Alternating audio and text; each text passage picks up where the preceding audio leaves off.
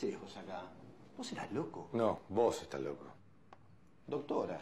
Tenemos que hablar con usted. Muchachos, nos dejen, por favor.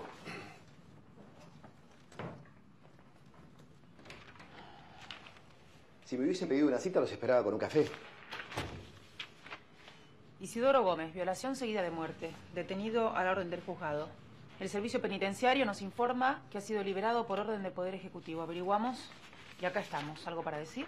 Sí, claro, que tienen que salir un poquito más ustedes, ¿eh?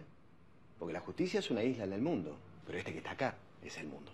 Y mientras ustedes se dedican a cazar pajaritos, nosotros estamos acá peleando en el medio de la selva. ¿Entienden? Gómez, Gómez, Gómez. Sí, sí, empezó con nosotros cuando estaba en la cárcel. Lo que hacía era llevar información, traer, espiar jóvenes guerrilleros. Pero anduvo muy bien, ¿eh? Se hizo querer. ¿Por qué no, no están de acuerdo? ¿Usted se da cuenta de lo que está diciendo? Es un asesino convicto y confeso. Será, será, sí, pero también es una persona inteligente y de coraje. Capaz de entrar en una casa y hacer lo que hay que hacer. Además, la vida personal de él, honestamente, ¿no? Con todos los subversivos que hay dando vueltas, los tiene sin cuidado. Si vamos a ir con los buenos solamente. Es un detenido procesado a la orden del juzgado del doctor Fortuna y ¿Vos nosotros... creés mismos- que yo no sé que vos lo liberaste para joderme? Pensás que soy un pelotudo. Son dos preguntas. ¿Cuál de las dos crees que te responde primero? ¿Es cierto eso? Doctora, a ver, ¿le puedo pedir un favor? No se meta.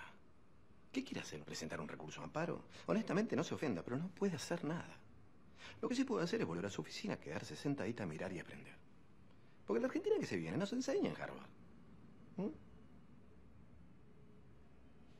¿Y vos para qué venís con la doctora? ¿Vos te pensás que estar al lado de ella te da cierta inmunidad? ¿Por qué no la dejas en paz si no tiene nada que ver con vos? ¿Eh? Ella es abogada, vos perita mercantil. Ella es joven, vos viejo. Ella es rica, vos pobre. Ella es Menéndez Hastings. Y vos sos expósito, o sea, nada. Ella es intocable, vos no.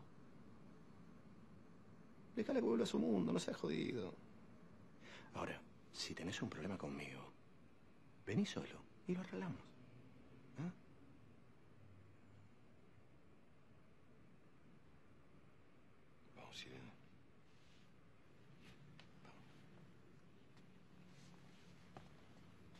Hay una cosa que sí tienen en común, ¿eh?